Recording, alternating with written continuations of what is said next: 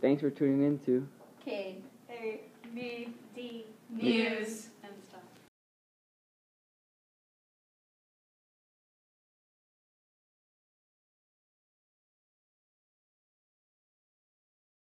from Honolulu, Hawaii, where the atmosphere here is very compact of the sun's energy, which makes the climate here very hot.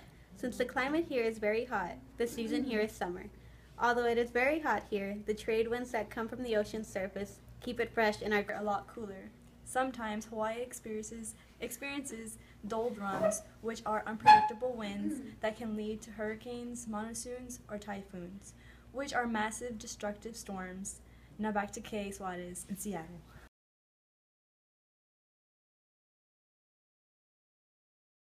Here in rainy Seattle, where the rain shadow and the horse latitudes are not a problem.